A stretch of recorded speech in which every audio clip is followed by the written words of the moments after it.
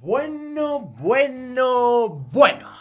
Amigos, sí, ha ocurrido. La televisión ha respondido al vídeo que les hice. Para aquellos que no sepáis de lo que estoy hablando, la semana pasada una cadena de televisión habló acerca de mi nuevo coche, acerca de mí, y comentó una serie de cosas que no eran ciertas. En base a esto, hice un vídeo para mi canal en el cual comentaba qué puntos no eran correctos y el motivo del por qué no eran correctos.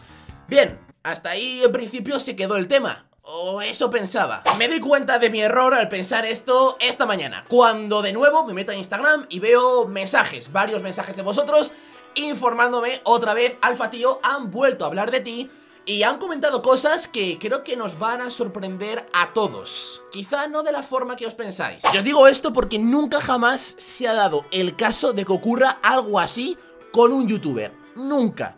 Ahora me entenderéis Pero antes de ver qué es lo que han dicho Me gustaría informaros de que yo ya era consciente de que esto iba a pasar Al final del vídeo os comentaré el porqué Asimismo, también deciros que si me veis más apagado de lo normal en este vídeo es porque sigo malo y me encuentro fatal, aunque intentaré que no se note, ¿ok? ¿Estáis listos? ¡Vamos a ello!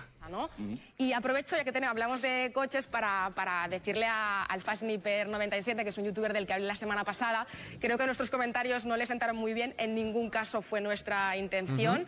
Decirle que yo respeto muchísimo la profesión del youtuber, sé el trabajo que hay detrás, así que si hemos dicho algo que no le ha gustado, pues que... Y aparte que él entendemos que también eh, hace prueba eh, videojuegos. también, videojuegos, el Call of Duty, etc, y que la verdad No, porque seguramente, yo, yo, entiendo lo que dice este youtuber, seguramente si solamente hablamos del vídeo en el que presenta su nuevo coche, puede parecer algo que no es. Es decir, él ha conseguido eh, pues recaudar o ganar un dinero en base a otro trabajo que nada tiene que ver con la compra de este coche. Así que lo respetamos mucho, que sabemos que hay mucho trabajo y oye, en mi nombre, pues que nada, pues que lo siento y que un saludo desde aquí. Y que disfrute del Lamborghini. Y que disfrute del Lamborghini.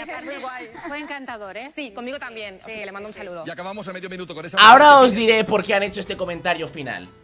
¿Veis lo que acaba de pasar? La televisión acaba de reconocer un error públicamente y se han disculpado por ello.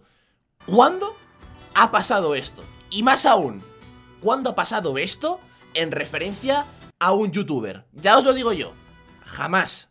Y por ello yo os pregunto, ¿alguien se esperaba esto realmente? O sea, ¿alguien esperaba que un programa de televisión fuese a rectificar en sus palabras ah, como lo han hecho? Porque yo en lo personal no, no lo esperaba.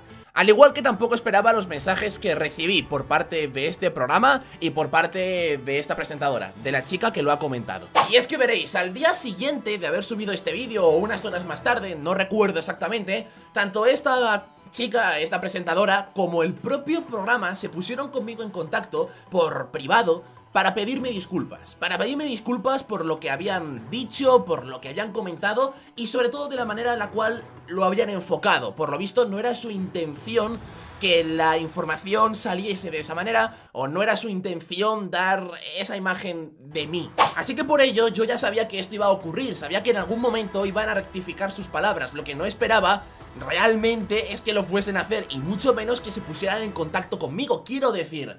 En el vídeo que subí la semana pasada dije textualmente que no iba a hacer ningún tipo de acción legal, no iba a ir más allá. Con lo cual ellos no tienen por qué rectificar esto. De hecho, el motivo de la rectificación normalmente tiende a ser para evitar un problema legal, problema que yo no iba a causarle. Luego entonces quiero pensar que estas disculpas son realmente sinceras y que no están hechas para evitar un problema, sino porque realmente se han confundido. Se han confundido al decir lo que dijeron de mí y al decir lo que dijeron de los youtubers, que esto es un punto aparte. La verdad es que en lo personal echo de menos sobre todo que esta persona en concreto se disculpe por lo que dijo hacia mí y hacia mis compañeros. El hecho de que ser youtuber es no hacer nada y ganar mucha pasta. Pero bueno, pero bueno, aún así, como digo, disculpas aceptadas. Y sinceramente considero que esto debe servir como ejemplo. Como ejemplo de un paso adelante, del tener la capacidad de poder reconocer un error y que no pase nada, todos nos podemos equivocar. Considero que todo lo que dijeron era fruto de la desinformación, como así lo expresé en el vídeo anterior. Yo por mi parte no tengo problema, si algún día hay que dar la cara y explicar algo públicamente, pueden contar conmigo, al igual que estoy seguro que muchos compañeros míos youtubers no tendrán problema en ir a donde sea y decir, no, esto es así, así y así. Y por supuesto, no quería despedirme en este vídeo sin antes daros las gracias a compañeros youtubers que se volcaron totalmente con esto que ocurrió, a vosotros, mis seguidores, que os volcasteis de una forma espectacular por redes sociales, compartiendo el vídeo de todo, y también en general a la comunidad de YouTube que respondió de una forma bastante contundente a todo lo que sucedió. Y ya digo, me sorprendió esa reacción, así que os quiero dar las gracias. Y bueno, para aquellos que buscabais salseo, en plan, madre mía, pelea entre alfa, no sé qué No, no, no quiero salseos, ya lo sabéis, no es mi estilo, paso de esas cosas. Y si hago este vídeo es para que, al igual que en su momento comenté algo negativo que dijeron hacia mí no tengo problema en comentar algo positivo que hacen hacia mí o hacia el resto de compañeros. Quiero decir, no es que tenga algo en su contra, no es ir a por ellos, no, simplemente dijeron algo que no estaba de acuerdo, lo comenté, ahora han comentado algo positivo, no tengo problema en que públicamente la gente sepa que han rectificado, como digo, y que han pedido disculpas, o sea, no me tiembla el pulso al hacer esta acción, ¿entendéis? También, por supuesto, no olvidar a la cantidad de abogados que se pusieron conmigo en contacto para llevar el caso si es que finalmente decidiese ir más adelante. Como dije, no lo iba a hacer, pero aún así también es algo que agradezco, o sea, darme cuenta de cuando hay un problema real, cuando ocurre algo de verdad, tener tanta masa de gente que está dispuesta a apoyar o a ayudar,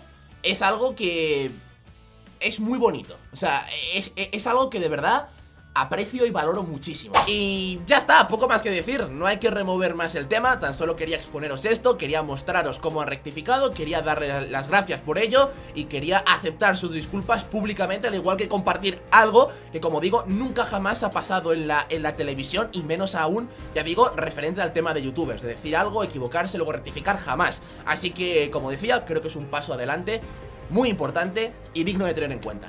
Así que poco más, gracias de nuevo por el apoyo y lo dicho, mañana si me encuentro mejor, estamos de vuelta en el canal. Como siempre, muchas gracias, un fuerte abrazo y nos vemos. Adiós.